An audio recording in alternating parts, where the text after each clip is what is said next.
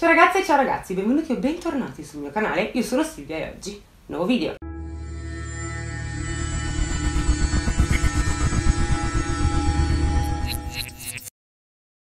La storia che vi voglio raccontare oggi l'ho sempre trovata molto interessante. Io ho visto un film da cui è stato ispirato il protagonista del caso di oggi, e consiglio anche a voi di recuperarlo, si chiama Split. È un film girato da Dio da Shyamalan e interpretato da un fantastico James McIvory. Ho anche letto che era previsto per il 2020 un film ispirato proprio alla storia del protagonista di questo caso. Dovrebbe interpretarlo Leonardo DiCaprio, però Ehi, il 2020 è passato, siamo nel 2021 e quindi ahimè non so se questo film mai uscirà o ancora uscirà in Italia. Lucarelli direbbe che questa storia questo caso, se l'avesse raccontato uno scrittore o se l'avessimo vista in un film, avremmo pensato che sì, magari l'idea regge, ma è un po' esagerata. Vi avviso che raccontare questo caso non è assolutamente facile perché io non sono una psicologa, però ho provato a fare del mio meglio per essere il più chiara possibile. Ovviamente se sapete qualcosa di diverso o siete esperti sul tema, correggetemi pure se sbaglio qui sotto nei commenti. Questa storia quindi, che parrebbe pure esagerata, è una storia vera, è accaduta realmente ed oggi parliamo di Billy Milligan. Billy è un ragazzo che soffre di disturbo dissociativo dell'identità ed ospita dentro di sé ben 24 personalità, tutte completamente differenti l'una dall'altra. Ma come al solito partiamo dall'inizio. Billy Milligan nasce nel 1955 a Miami Beach, sua madre Dorothy ha da poco lasciato suo primo marito e si è risposata con Johnny Morrison, un comico con problemi d'alcol e gioco d'azzardo. Billy è un bambino normale fino a quando compie 4 anni. È il 1959 quando suo padre si toglie la vita. Billy e sua madre di conseguenza si trasferiscono a Lancaster ed è da questo momento che Billy inizia a provare i primi segni di dissociazione. È in questo preciso momento che il suo sé decide di frammentarsi per la sua salvezza. Quindi da questo momento in avanti ogni esperienza traumatica viene relegata ad un comportamento mentale differente. Il sé Billy deve difendersi, deve distanziarsi da un trauma incontenibile. È così che inizia a disgregarsi col fine di proteggere il suo mondo interno, seppure in forma scissa. Già per ora questa storia è alquanto sconcertante, ma è solo l'inizio. Infatti il sé Billy va in frantumi nel 1963, quando la madre sposa Chalmer Milligan, un uomo disturbato, violento, che inizia a fare violenza intima su Billy. È così che in Billy Milligan si sviluppano diverse personalità. Arrivano Arthur, Regan, Allen, Tommy, David, Kristen, Christopher, Adalana e molti altri. Tutte queste singole personalità di Billy non si limitano a cedersi il posto a vicenda e quindi ad emergere dal ragazzo. Queste personalità crescono letteralmente con lui. Anno dopo anno maturano progressivamente e peraltro iniziano anche a interagire tra di loro. Però Billy non ha coscienza di nessuna di esse. Avverte solo dei vuoti di memoria, sente delle voci molto lontane, ma rimane inconsapevole delle azioni compiute dalle altre personalità. Billy cresce, va a scuola alla Lancaster High School, ma a 14 anni viene sospeso perché viene spesso trovato a vagare in stato di trance per la scuola e per la città. A 15 anni, tramite la scuola, Billy viene ricoverato per la prima volta al Columbus State Children's Hospital, un ospedale psichiatrico dove il dottor Harold T. Brown gli diagnostica una nevrosi isterica con aspetti passivo-aggressivi. Passano appena tre mesi e Billy viene dimesso sotto forti pressioni di sua madre. Il punto è che Billy a questo punto è in un continuo stato confusionale. Le personalità prendono spesso il suo posto, di conseguenza il ragazzo vive davvero brevi scorci di lucidità. Per tutto il resto del tempo rimane altamente disorientato. Infatti, poco tempo dopo, Billy tenta di togliersi la vita, ha 16 anni, e sale sul tetto della scuola col fine di buttarsi di sotto. Ma in quell'occasione che emerge una personalità, Regen. Regen ha 23 anni ed è definito il guardiano dell'odio. È jugoslavo, parla inglese ma ha uno spiccato accento slavo. Inoltre scrive, legge e parla il serbo-croato. Regen è un'autorità in fatto di armi e munizioni e, tra l'altro, è anche esperto di karate. Ha una forza straordinaria derivante dalla capacità di controllare il flusso di adrenalina. Prende il controllo della coscienza nei luoghi più pericolosi. Ecco perché Regen prende il controllo della coscienza di Billy. È apparso in un momento in cui Billy è in un luogo e in una situazione pericolosa. Così gli salva la vita. Ed è a mio parere in questo momento che la storia prende una forma ancora più strana e particolare. Perché da quel giorno dei suoi 16 anni, Billy viene tenuto costantemente in stato di incoscienza dalle sue personalità dominanti, che ovviamente gli impediscono di tentare di togliersi nuovamente la vita. In realtà la vita sociale di Billy viene vissuta dalle varie personalità che si manifestano alternandosi a seconda della situazione da affrontare. Arriva Arthur, la prima personalità di Billy, che ha 22 anni.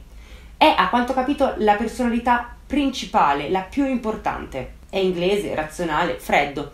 Inoltre è stato il primo delle personalità di Billy ad aver scoperto le altre personalità di Billy. Infatti Arthur domina nei luoghi sicuri e decide quale membro della famiglia, o meglio, quale membro della personalità di Billy può uscire e prendere il controllo della coscienza. Poi c'è Allen, ha 18 anni ed è un vero artista del raggiro, un vero e proprio manipolatore. Allen è quello che parla più spesso con gli esseri umani esterni ed ha un rapporto molto stretto con la madre di Billy. Tommy ha 16 anni ed è un artista della fuga. Tommy è spesso confuso con Allen, ma Tommy ha decisamente un atteggiamento più bellicoso e antisociale. Arriva poi Danny, che ha 14 anni ed è la personalità spaventata, ha paura soprattutto degli uomini. Poi arriva David, che ha 8 anni ed è chiamato il guardiano del dolore o l'empatico. Questa personalità assorbe il dolore e la sofferenza di tutte le altre personalità. David è molto sensibile e intuitivo, però ha una capacità di concentrazione limitata risulta sempre molto confuso. Poi arriva Kristen, che è una bambina di 3 anni, ed è anche chiamata la bambina dell'angolo. È sempre stata fortemente emarginata. È inglese, sa leggere e disegnare, ma soffre di dislessia. Christopher ha 13 anni, è il fratello di Christiane, ma è molto tormentato. Infine c'è Adalana, una donna di 19 anni, lesbica, timida, solitaria ed introversa. Adalana ha gli occhi che talvolta vagano da una parte all'altra, per un problema di nistagmo. Il nistagmo si riferisce a movimenti oscillatori, ritmici e involontari dei bulbi oculari. Dicono che Adelana abbia gli occhi ballerini. In Billy ci sono anche altre personalità che sono fortemente negative. In tutto Billy Milligan ne conta 24 e queste 10 che vi ho nominato possiamo definirle le centrali, quindi quelle che appaiono con più frequenza. Nel 1972 Billy viene definitivamente espulso dalle superiori quindi a 17 anni prova e riesce ad arruolarsi nella Marina Militare statunitense, dove viene nominato sottufficiale. Passa meno di un mese quando tutti si rendono conto della sua chiara condizione mentale instabile. Anche in quel caso le personalità di Billy si danno il cambio e quindi il ragazzo passa da un estremo all'altro. Durante questo periodo emergono anche delle personalità negative di Billy, che rispondono male a chiunque, vogliono solo poltrire e farsi i cavoli loro. Se ne fregano alquanto dei doveri di Billy. Loro fanno quello che gli va e quindi Billy viene congedato. Arriviamo all'8 luglio del 1972 e Billy viene arrestato per aver sequestrato, fatto violenza e aggredito con una pistola due prostitute. Viene archiviata l'accusa di sequestro, ma viene riconosciuto colpevole per tutti gli altri capi d'accusa e quindi viene affidato al campo giovanile di Zanesville, in Ohio, dove rimane per appena quattro mesi. Arriva il 21 gennaio del 1975, quando Billy Milligan viene nuovamente arrestato con l'accusa di aver rubato sostanze in farmacia. A questa accusa se ne aggiunge un'altra. Aggressione e rapina a mano armata a danno di diverse vittime nelle piazzole di sosta nelle contea di Farfield e Hawking sempre in Ohio. Il 25 marzo dello stesso anno Billy si dichiara colpevole di rapina e rapina aggravata. Subisce una condanna che può andare dai 2 ai 5 anni per la rapina in farmacia. Il 9 luglio Billy Milligan viene trasferito all'istituto correttivo di Lebanon a Cincinnati per poi essere rilasciato sulla parola il 26 aprile del 1977 in libertà condizionale. Arriva il 30 ottobre del 1977 e Billy viene nuovamente arrestato con l'accusa di aver rapito, rapinato e fatto violenza in piena mattina a tre studentesse della Ohio State University. Le vittime in primo luogo riconoscono Billy da una foto segnaletica, poi in un secondo momento da un confronto all'americana. Viene anche identificato per delle impronte lasciate sulla portiera dell'auto di una ragazza. Billy viene quindi incarcerato in attesa di processo. Peccato che la difesa si renda conto immediatamente che in Billy ci sia qualcosa che non vada. Ha dei comportamenti strani. Ad esempio, ogni volta che viene interrogato il ragazzo pare essere sempre una persona totalmente diversa da quella precedente. Una volta pare fragile, insicuro e sull'orlo di una vera e propria crisi di pianto, mentre la volta successiva si dimostra arrogante, risoluto, apatico. Inizialmente tutti credono che Billy sia un bravissimo attore, ma quando diventa evidente per la difesa che la situazione mentale del ragazzo risulta problematica, chiedono immediatamente che venga sottoposto ad una perizia psichiatrica. Il dottor Willis C. Discrow uno psichiatra clinico gli diagnostica una schizofrenia acuta e in effetti la schizofrenia, quanto ne so, è un disturbo da alterazione del pensiero, del comportamento e dell'affettività. Si manifesta con deliri, allucinazioni, eloqui e comportamenti disorganizzati, ancora comportamento catatonico. E in effetti in un primo momento Billy può davvero apparire come uno schizofrenico. I deliri avvengono quando c'è il cambio di personalità. Le varie personalità interagiscono in modo diverso e qui si aggiungono eloqui e comportamenti disorganizzati. Non manca neanche il comportamento catatonico a dirla tutta. Spesso Billy appare totalmente insensibile a qualsiasi stimolo esterno. Il fatto è che mentre Billy è in prigione fa accadere delle cose davvero assurde. Questa a tratti potrebbe davvero sembrare una storia paranormale, ma non lo è. Ad esempio, nel momento dell'arresto, mentre lo portano in prigione, Billy riesce a sfilarsi le manette, senza slacciarle, se le sfila semplicemente. Ma appena gli viene chiesto come sia riuscito a farlo, lui risponde che non lo ricorda affatto. Durante la notte passata in prigione, Billy riesce a rompere la tazza del water a mani nude, poi con un coccio di ceramica tenta di togliersi la vita. Dopo questa crisi gli viene messa una camicia di forza, in modo che non possa far male né a se stesso né agli altri. Inoltre decidono di metterlo in una cella di isolamento. Quando lo vanno a controllare circa 20 minuti dopo, trovano Billy che si è liberato dalla camicia di forza e la sta usando come cuscino per dormire. In tutto ciò Billy dice una cosa e la ripete a macchina Sempre la stessa cosa. Non so come abbia potuto fare una cosa del genere, non ne ho idea, perché neanche io me lo ricordo. Inizialmente, come vi dicevo, la difesa non ha preso seriamente i comportamenti di Billy, fino a quando non iniziano a mettere insieme tutti questi avvenimenti e capiscono che effettivamente qualcosa che non va c'è. E come? Billy è alto 1,80 m, ma non ha la forza per spaccare un water a mani nude, né dovrebbe avere la capacità di liberarsi da una camicia di forza. Le manette, a mio parere, possono essere sfilate se il soggetto è abbastanza bravo e astuto da posizionare le mani in un certo modo per riuscire a sfilarle. Billy, di conseguenza, il 16 marzo del 1978 viene trasferito all'ospedale psichiatrico Harding Hospital, che più precisamente si trova a Worthington, in Ohio per essere giudicato idoneo al processo. All'Harding Hospital, Billy ci rimane per ben sette mesi. Si affaccia ovviamente con diversi medici e la prima psicologa ad avere a che fare con lui è Dorothy Turner. La donna è minuta, ha un'espressione materna ed è molto timida, quasi spaventata a dirla tutta. La donna si fa coraggio, si avvicina a Billy, si siede e nota che sulla faccia del ragazzo c'è stupore. Poi ecco che la psicologa nota anche il suo sguardo, lo sguardo di un bambino spaventato. Eppure davanti a lei c'è un adulto, giovane di bell'aspetto, alto 1,80 m. La prima cosa che chiede Dorothy Turner, la psicologa, è Signor Milligan, sono Dorothy Turner e sono qui per farle delle domande. Dove abita attualmente? Billy si guarda attorno, ha lo sguardo confuso, poi si ferma e dice Qui. Io abito qui. Dorothy Turner a questo punto continua a chiedergli quale sia il numero di previdenza sociale. Billy aggrotta le sopracciglia, inizia a fissare il pavimento con uno sguardo vuoto. Poi scrolla le spalle e dice: Non lo so. La donna quindi legge tra i suoi appunti e legge il numero di previdenza sociale di Billy Milligan. E Billy risponde: Ma quello non è il mio numero deve essere per forza quello di Billy. Già in questo caso, durante la prima seduta, una personalità si è palesata dicendo chiaramente di non essere Billy Milligan. La Turner infatti alza lo sguardo e dice Beh, e lei non è Billy? Lui risponde con tutta tranquillità No, io sono David. La Turner quindi chiede E Billy dov'è? David, una delle personalità di Billy, risponde: Billy sta dormendo e non può svegliarlo perché altrimenti si ucciderà. A parlare con la Turner è David, ossia il guardiano del dolore, l'empatico, la personalità che emerge ogni volta che qualcuno si fa male. È lui che deve assorbire il dolore degli altri. David spiega alla Turner che loro, la mente di Billy, se così la vogliamo chiamare, la identificano come il posto. Il posto è il luogo in cui tutte le personalità di Billy restano. È tutto buio, ma c'è un fascio di luce bianca. Quando una personalità entra nel fascio della luce bianca, prende coscienza ed emerge nel corpo di Billy.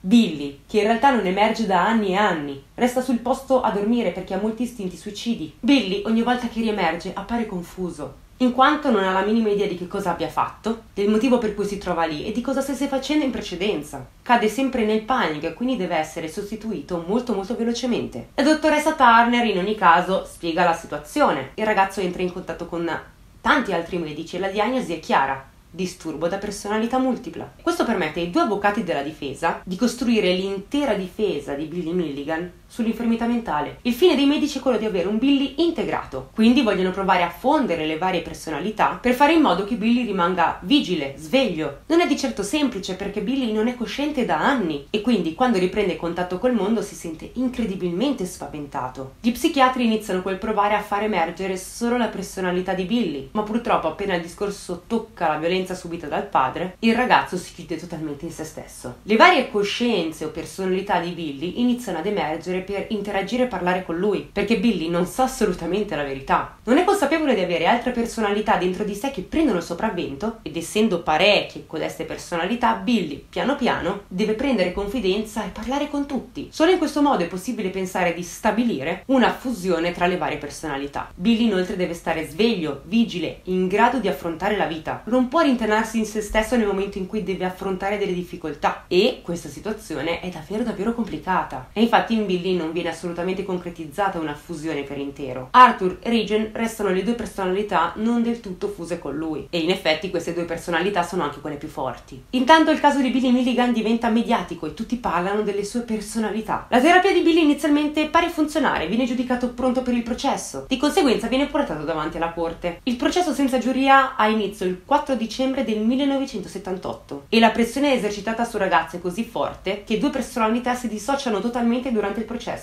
ossia Regan ed Arthur. Come vi ho detto, queste due personalità non si sono mai del tutto fuse con lui, quindi durante il processo prendono il posto di Billy parecchie volte. Dopo aver ascoltato le testimonianze verbale e le varie relazioni psichiatriche, Billy Milligan viene giudicato non colpevole per infermità mentale. Infatti il giudice, pur riconoscendo la colpevolezza dell'imputato per i reati di cui è accusato, conclude che all'epoca dei fatti non era nel pieno possesso delle facoltà mentali, di conseguenza non responsabile delle proprie azioni. Billy quindi viene trasferito in un ospedale psichiatrico ad Athens per ricevere le adeguate terapie stabilite dal dottor David Cole. Il dottor David Cole è un esperto di personalità multiple, ne ha gestite parecchie nella sua carriera. Ecco perché Billy Milligan viene affidato alle sicure. Ed è proprio in questo ospedale psichiatrico che Billy inizia la sua vera riabilitazione. Tutte le personalità si dimostrano decise e collaborative a riabilitarlo per fargli riacquistare credito presso la società. Durante la permanenza in questo ospedale psichiatrico emergono anche altre 13 personalità che vengono definite gli indesiderabili. Normalmente gli indesiderabili sono tenuti in silenzio dalle personalità dominanti. Ora però queste personalità dominanti non sono più divise da Billy, quindi queste ennesime 13 personalità definite indesiderabili sono pronte per uscire allo scoperto. La personalità che alla fine emerge è quella più completa, quella che ricorda tutto. Si chiama il maestro. Il maestro ha potuto far luce sul passato di Billy e cosa esattamente sia stata la causa della sua dissociazione. Ebbene, Billy ha 9 anni e viene guardato un po' troppo ossessivamente da Chalmer, il suo patrigno. L'uomo è molto autoritario, severo, urla spesso, pretende il massimo silenzio mentre sono tutti seduti a tavola non deve volare una mosca, non è possibile ridere. L'uomo inoltre pretende che per salare qualsiasi cosa bisogna fare dei movimenti circolari in senso orario. Se Billy per caso, sbagliando, urta la saliera e la fa cadere, Chalmer gli urla in faccia, gli dice che è un incompetente e che non sa fare assolutamente nulla di buono. A questo punto Billy inizia ad avere seriamente paura di lui, però inizia anche a covare una rabbia per il suo patrigno, in quanto l'uomo quando beve molto e si ubriaca mette spesso le mani addosso a sua madre e lui, poverino, che ha solo 9 anni, si sente fortemente impotente. Billy, di conseguenza, si chiude in se stesso. Non capisce la rigidità, l'ostilità e le punizioni inferte dal suo patrigno. Billy ricorda addirittura che una volta, mentre Chalmer, il suo patrigno, gli urlava addosso, lui aveva semplicemente osato guardarlo. Billy aveva solo alzato lo sguardo per osservarlo negli occhi e Chalmer aveva guardato Billy dicendo abbassa quegli occhi quando ti parlo. E in effetti Billy ha dei veri e propri problemi a osservare negli occhi le persone. Non riesce a mantenere lo sguardo e anche le sue personalità, per quanto siano forti, spesso distoglievano lo sguardo per primi. Fin da piccolo Billy perde il tempo e la personalità che emerge è sempre quella di Christine. Lei è una bambina piccola, ama disegnare, ma molto spesso viene anche lei terrorizzata dai patrigni di Billy. Per Billy queste situazioni sono normali. Immagina che a tutti capiti di chiudere gli occhi e di risvegliarsi da qualche altra parte, senza alcun ricordo di come sia arrivato lì. La coscienza di Billy si disintegra totalmente quando, una domenica di aprile, Billy viene guardato dal suo patrigno in modo troppo ossessivo. Il ragazzino quindi prende una rivista e inizia a sfogliarla, ma appena alza lo sguardo, ecco che vede ancora il suo patrigno che lo sta fissando. Billy quindi decide di cambiare posto, si siede sul divano, si mette composto, esattamente come pretende il suo patrigno. Chalmer non gli leva gli occhi di dosso. Billy a questo punto si alza e si leva sul portico. Ed anche in questo caso, quando rialza lo sguardo, trova il patrigno che lo fissa là dentro casa da una finestra. Billy a questo punto inizia ad avere davvero paura. Cerca di sottrarsi ai suoi occhi, fa il giro della casa fino ad arrivare al giardino, ma anche in quel caso vede Chalmer che lo fissa dalla finestra principale. Billy a questo punto inizia seriamente a tremare di paura perché non capisce cosa abbia fatto di male. La sera passa tranquilla, anche se Billy non riesce tanto a riposare serenamente quella notte. La mattina seguente, Chalmer, ancora prima della colazione, annuncia che lui e Billy si sarebbero diretti in una fattoria di sua proprietà, a Bremen, in quanto, secondo il patrigno di Billy, ci sono un sacco di cose da fare. Chalmer quindi guida, va verso la fattoria con la macchina, ma prende una strada secondaria, una strada più lunga, e non dice assolutamente nulla durante il viaggio. Billy non sa assolutamente cosa aspettarsi. Una volta arrivato in fattoria apre il garage, mette il trattore nel granaio e poi fa violenza su Billy più e più volte. Questa situazione va avanti per un anno. Billy non dice nulla di queste violenze perché il patrigno lo minaccia quotidianamente di morte. Gli dice con esattezza che l'avrebbe sepolto nel granaio, per poi dire a sua madre che semplicemente era fuggito. È qui, in questo momento, che la sua mente, le sue emozioni e la sua anima si disintegrano esattamente in 24 parti. A questo punto Chalmer inizia anche a peggiorare nei confronti della madre di Billy, Dorothy. La picchia sempre più spesso, anche senza aver bevuto. Crescendo per Billy ovviamente il rapporto con la scuola diventa insidioso. Il ragazzo spesso scivola via anche durante le verifiche e quindi a completare magari i compiti, le verifiche non è lui, ma qualche altra sua personalità. E quindi ecco che quando si risveglia si ritrova il compito di matematica fatto alla perfezione. Ma non è stato fatto da lui. Billy è un ragazzo molto sensibile, ama molto i fiori e le poesie. Inoltre gli piace parecchio aiutare sua madre per fare delle faccende domestiche. Però Chalmer lo chiama femminuccia, quindi Billy ben presto smette di aiutare sua madre. Billy smette realmente di fare ciò che lo rende felice. Le poesie le scrive ad Alana, ed aiuta anche a sistemare casa in gran segreto. Tommy invece gioca con i motori e delle apparecchiature elettroniche, ma inizia anche a studiare delle strategie di fuga. Tommy inizia a leggere i libri di grandi illusionisti come Houdini, ma rimane deluso quando scopre che alcune delle loro incredibili fughe erano solo dei trucchi. Con gli anni Tommy studia i vari nodi per capire quale sia il modo più facile per allentare le corde. Poi ecco che legge di alcune trappole usati per catturare le scimmie in Africa. Gli animali provavano a prendere del cibo da delle fessure molto molto strette e poi non riuscivano più a sfilare i polsi, rimanevano incastrati. Questo porta Tommy a riflettere sulla struttura della mano umana. Inizia quindi a studiare la struttura ossea della mano su un'enciclopedia ed è così che arriva a scoprire come liberarsi le mani e i polsi. Se fosse riuscito a comprimere le mani sino a farle diventare più strette del polso, avrebbe potuto liberarsi sempre. Tommy quindi si misura le mani, i polsi ed inizia a compiere una serie di esercizi comprimendo e allineando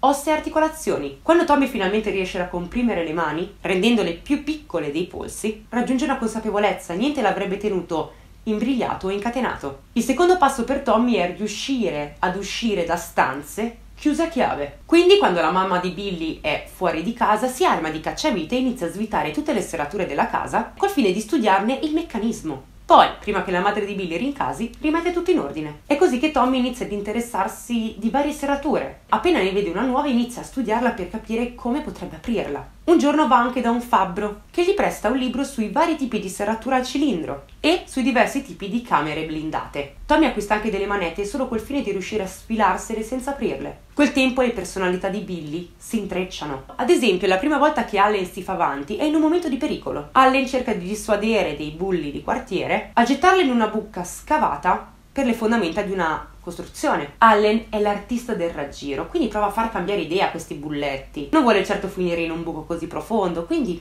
usa la sua dote manipolatoria per cercare di far cambiare idea a questi tizi.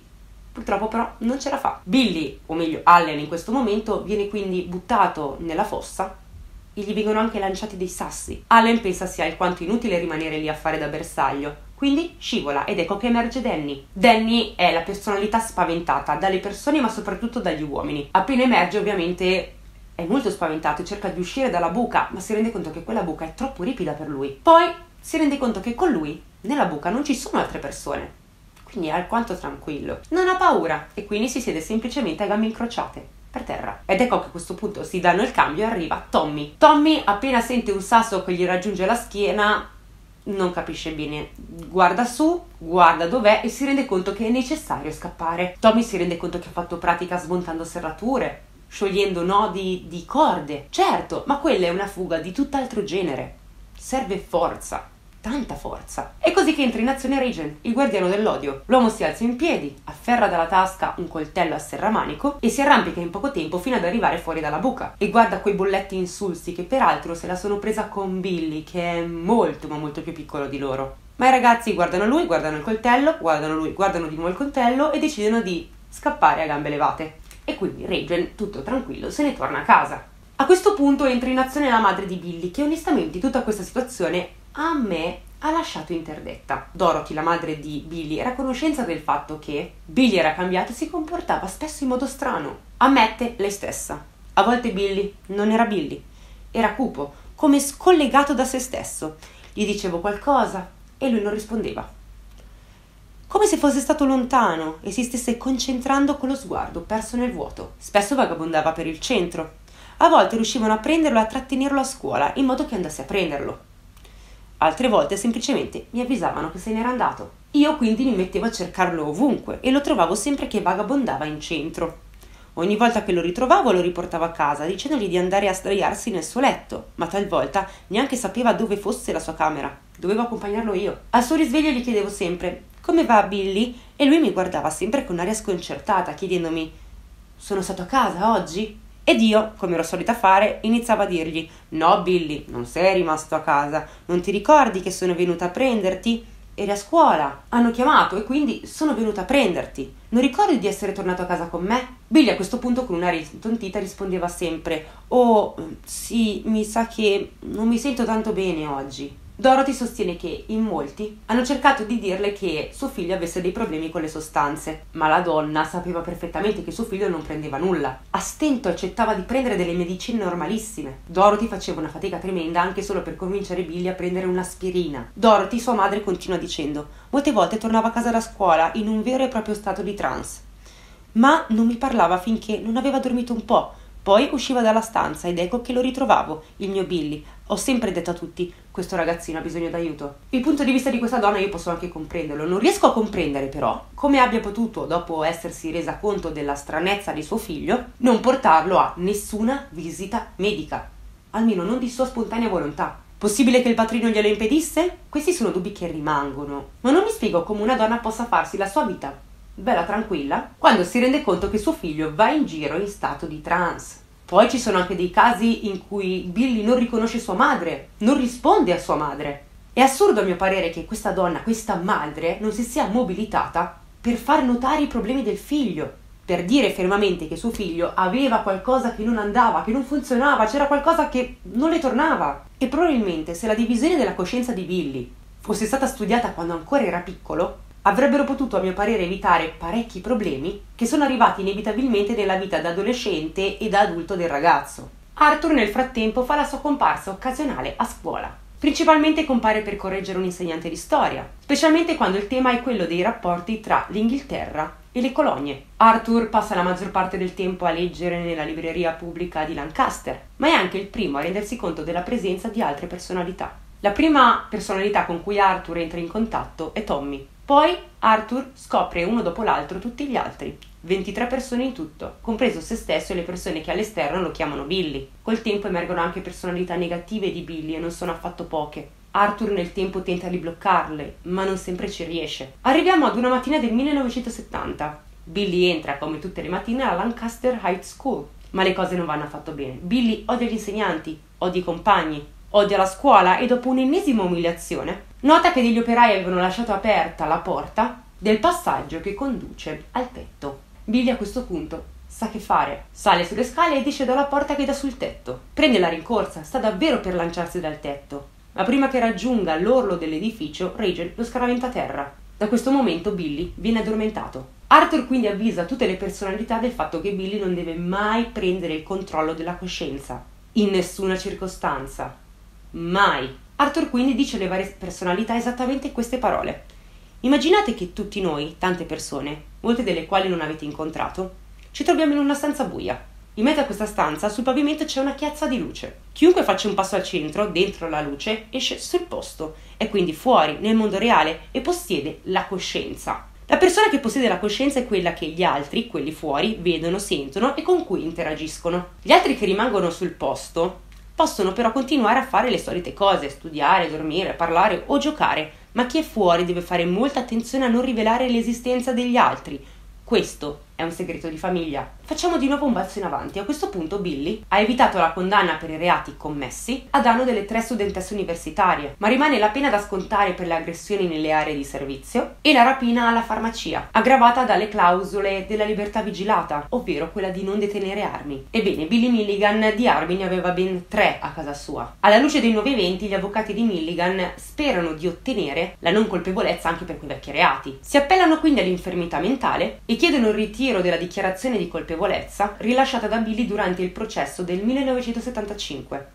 La mozione però viene respinta. Billy quindi viene di nuovo colmato dalla tensione causata dall'attesa del processo. E peraltro ci sono anche due nuove accuse, ossia due tentate violenze a danno di due pazienti dell'ospedale di Athens. Poi ecco che arrivano anche i costanti tentativi della stampa di screditarlo. Tutte queste situazioni buttano Billy in un grave stato di depressione che lo fanno nuovamente dissociare. Billy tenta di togliersi la vita, non ce la fa, quindi tenta di fuggire dall'ospedale. A questo punto c'è una presa di coscienza l'ospedale di Athens, non era più in grado né di garantire né di gestire il suo trattenimento nella struttura. Quindi Billy il 4 ottobre del 1979 viene trasferito in un manicomio criminale di massima sicurezza, il Lima State Hospital for the Criminally Insane. In quest'altro ospedale psichiatrico a Billy viene diagnosticata una schizofrenia pseudopatica con episodi dissociativi, respingendo con forza la precedente diagnosi di personalità multipla. Ed ecco che tutto ritorna come prima, o meglio, Billy rincomincia a dissociarsi. Il maestro, la personalità più integrata di Billy, quella che ricorda più cose, sparisce e Billy di nuovo viene tenuto addormentato dalle altre personalità perché continua ad essere fortemente depresso e quindi quindi si affaccia nuovamente la possibilità del suicidio. Durante il 1980 Billy, all'interno di quell'ospedale psichiatrico, viene nuovamente provocato e umiliato sia da pazienti che da infermieri. Inoltre viene anche picchiato brutalmente più volte. Nell'ottobre dello stesso anno, Lima da un manicomio criminale si trasforma in un carcere, quindi Billy deve essere nuovamente trasferito al Dayton Forensic Center, un'altra struttura di massima sicurezza. Arriva il 22 settembre del 1981 e Billy viene nuovamente trasferito in un ennesimo manicomio criminale di massima sicurezza, il Central Central Ohio Regional Forensic Unit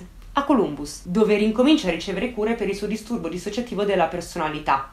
Finalmente, oserei dire. Arriva il 15 aprile del 1982. Ormai giudicato innocuo per sé e per gli altri, Billy viene nuovamente trasferito all'ospedale psichiatrico di Athens. Lì, dietro varie restrizioni e sotto stretta supervisione, rincomincia a seguire la terapia del dottor Cole. Nel 1988, dopo altri due trasferimenti in altri due manicomi diversi, Billy Milligan ottiene il rilascio definitivo. Il 1 agosto del 1991, gli psichiatri e i tribunali dell'Ohio lo dichiarano guarito dalla sua malattia. Tutte le sue personalità si sono fuse, quindi Billy non è più costretto a supervisioni psichiatriche. Una volta libero, Billy si trasferisce in California, dove diventa proprietario di una casa di produzione cinematografica, ossia la Stormy Life Production. Nel 2012 gli viene diagnosticato un tipo di tumore molto aggressivo. Billy quindi viene ricoverato in una casa di cura cura a Columbus, dove viene a mancare il 12 dicembre del 2014, all'età di 59 anni. Detto questo ragazzi, io spero di essermi fatta capire per questo video perché ammetto che è stato molto difficile scriverlo, è stato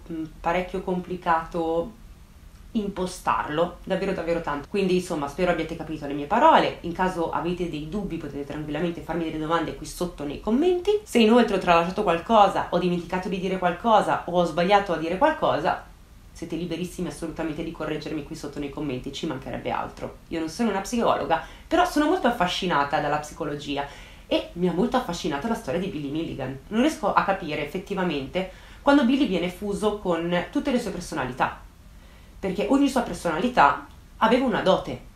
E quindi la mia domanda è, ma Billy, in questo caso, ha assorbito anche le doti di tutte le sue personalità? Se magari voi sapete qualcosa e potete chiarirmi la situazione, sempre qui sotto nei commenti, a me fa molto piacere. Detto questo ragazzi, io ho finito di sproloquiare in questo video, spero vivamente che questo video possa essere stato di vostro gradimento.